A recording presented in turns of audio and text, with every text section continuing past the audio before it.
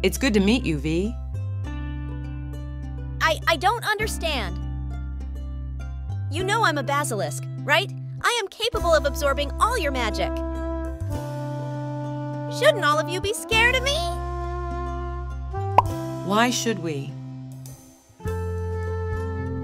I mean, I am capable of setting people on fire, but no one is worried about that.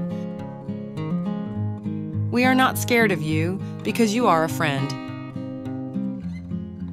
And we can always trust a friend. She's right. I'll give you another example. Like, just because I was trained to slit people's throats in their sleep doesn't mean I'm actually going to do that, you know? Sorry, bad example. Sleep with your eyes open, Gus. Totally.